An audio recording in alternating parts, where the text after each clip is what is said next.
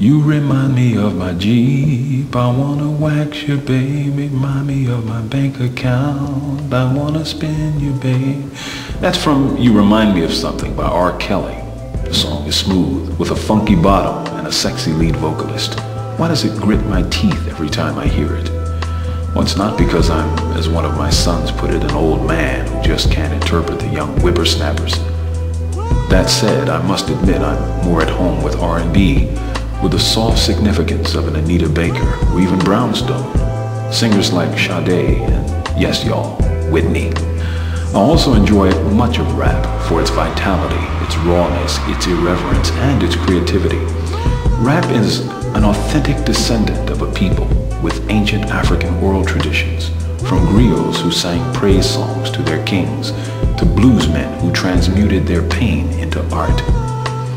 For a generation born into America's chilling waters of discontent, into the 1970s and 80s, into periods of denial, cutbacks, and emergent white supremacy, one must understand how love songs sound false and discordant, out of tune with their gritty survivalist realities.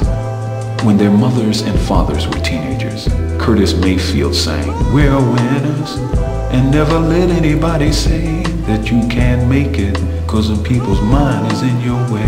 We're moving on up. Earth, Wind, and Fire in exquisite harmony, keep your head to the sky, and Bob Marley and the Wailers thunder over rolling bass line. Get up, stand up, stand up for your rights.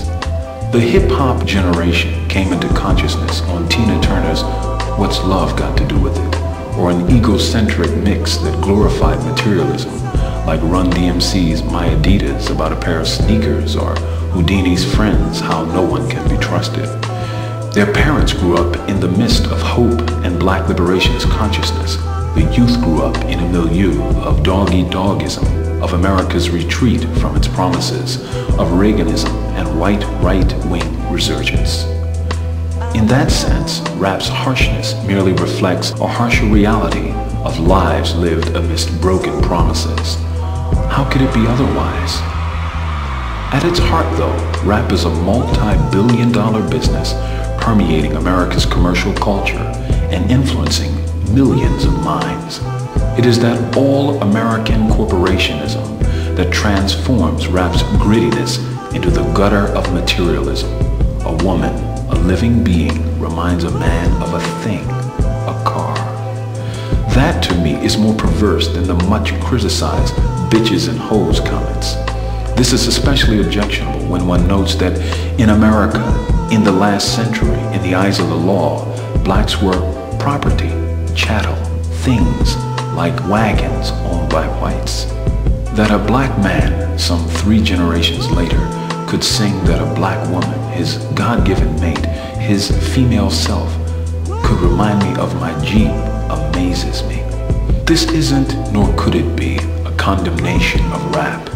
The late Tupac Shakur's Dear Mama and Keep Your Head Up are shining examples of artistic expressions of loving oneness with one's family and people.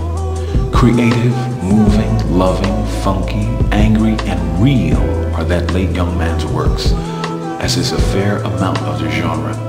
Like any art form in America, it is also a business with the influences of the marketplace impacting upon its production.